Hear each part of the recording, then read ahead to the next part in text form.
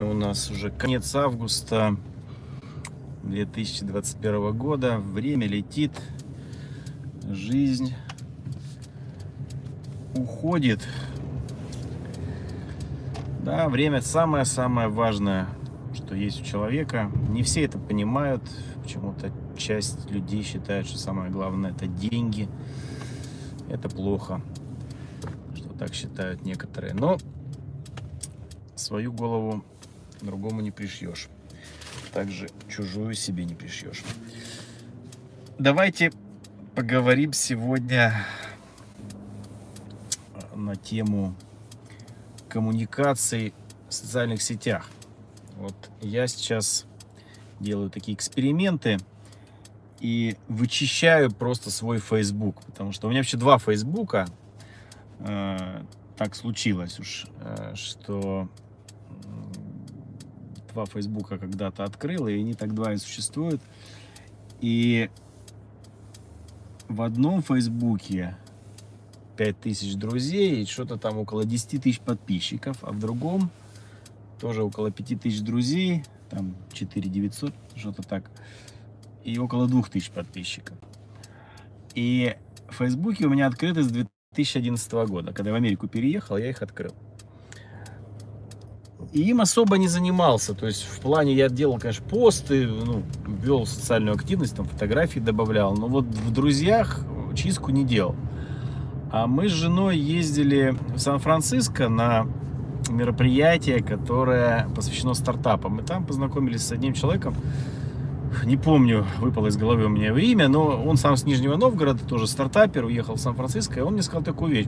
Слушай, ты знаешь, а Facebook это очень хороший инструмент коммуникации с, люд- с людьми, но когда у тебя нормальные друзья. Я говорю, а что такое нормальные друзья? Это те, которые тебе отвечают. То есть ты можешь их не знать, но главное, чтобы они с тобой как-то общались. А иначе это если мертвые друзья, зачем они тебе нужны? И говорит, я что делаю? Я беру, рассылаю какой-нибудь текст. Там, не знаю, там, привет, как у тебя дела, да? А, или какое-нибудь там предложение рекламное. А, и дальше смотрю, кто мне не отвечает, я его удаляю. Зачем он мне нужен, если он мертвый, если он не отвечает?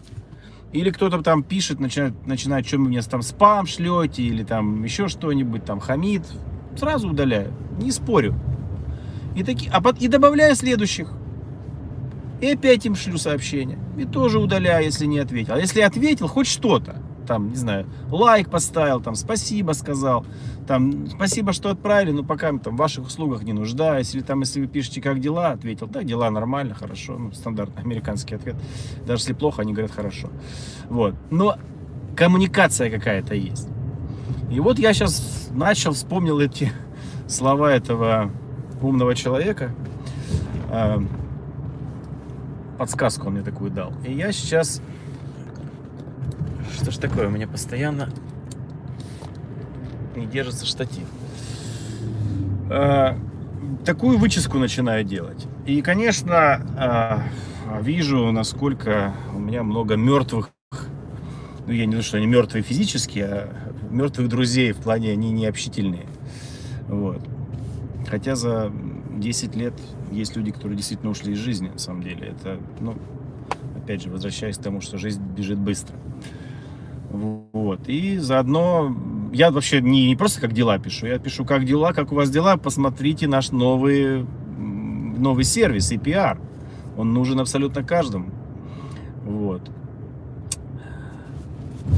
Некоторые пишут, конечно, такие вещи странные, что не хочется даже прокомментировать. Я не понимаю, как они у меня эти люди вообще были в друзьях. Ну, есть и хорошие отклики, их немало, и э, кто-то уже клиентом стал, кто-то сказал, мы вас порекомендуем, там, знакомым, там, нам не нужно, но порекомендуем.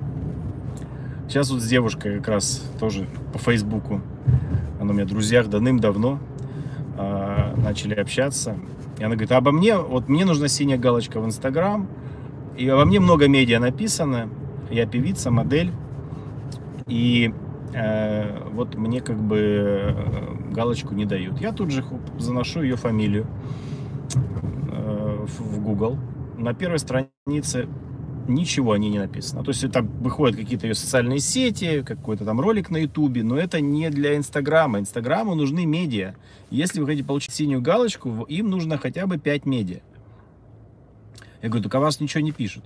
А вот как бы, ну вот там, там LinkedIn или там э, э, ролик считается? Нет, не считается.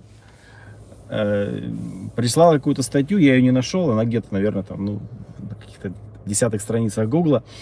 Ну, то есть, э, важно, э, менеджер Инстаграма, он смотрит э, популярность медиа, он смотрит, он заби, заби, первое, что он сделает, он забьет ваше имя, фамилию в, в Google и посмотрит. Если даже вы ему прислали эти пять медиа, но они не, не индексируются Гуглом, ну, значит, это, может быть, это не медиа, а какие-то фальшивые сайты. Сейчас же очень много такого существует, что создаются фальшивые сайты. Я сам сколько страдал и, и продолжаю страдать, когда там э, жулики используют э, хотя сейчас уже меньше страдаю на самом деле, я уже пересмотрел отношение к этому всему, но э, раньше мне было ну, очень неприятно, что ну, елки-палки, э, почему какие-то нехорошие люди, хочется сказать, очень плохое нецензурное слово, берут там, публикуют клевету, да, выдумку, и э,